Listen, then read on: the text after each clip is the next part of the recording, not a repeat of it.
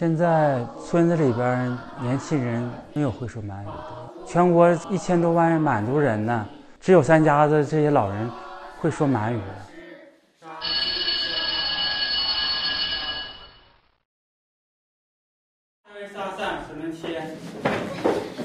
两千零五年，当时国家有一个保护民族文化遗产的，福建政府就觉得三家满语有一定影响力，在国在国内啊，一定把这种文化保留下去。第一的词咒就是读的班，第一就要把这学校重新建立起来。他们想选当地精通满语的人来教。看到我这个岁数当时不大，热爱着满语啊，还有文化，这高中文化嘛，完就是聘我做满语教师了。白色，白色，白色，白色。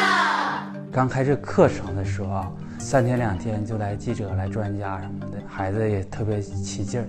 后期呢，鼓励政策配套都没出台了，家长也没啥兴趣了，说学这干啥了？一天天学满语，数学、语文都耽误了。完了就不鼓励孩子去学习满语。到现在为止吧，就是学校是开课，但是只是当校本教材，就是让孩子学到启蒙作用做。他们学呀，按我看等于白学，比满人家嘛猛劲哈了，显效更高啊。咱家没有中学呀，小学上现在学多少还能会几句，一到中学呢，中学没有满语课。时间一长了，也都忘掉了。年轻人都不学，另外学了也没啥用。这农村吧，都这大忙季节都往地里干，咱还得靠农业挣钱或养活家。别饿了呢，哪等着做事？并给我青兰。我们现在传承人已经剩十来个人了，老的吧都八十多岁、九十多岁的，还有比我小的有两个。总也不说，就像我们现在就是有的话吧，问我们的有的时候吧都想不起来。现在吧，我们这满挽救吧是有点难了。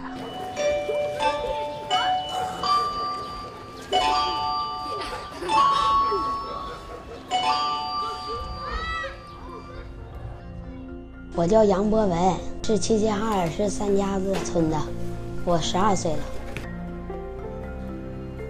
我从一年级就开始学满语了，我喜欢上满语课。它跟语文、英语、数学字不一样。长大以后也想教满语。想学满语的人，难道就三家的这这些人吗？不可能，三家子这年轻人跟全国人人一样。他们也有各自的生活，有各自的理想，有各自的想法。三家满语保护不能落在三家的人身上，而是全中国的有志的满族人联合起来，把这种语言保护好，出钱出钱，出力出力，想学的学，这样的话才能真正保护住。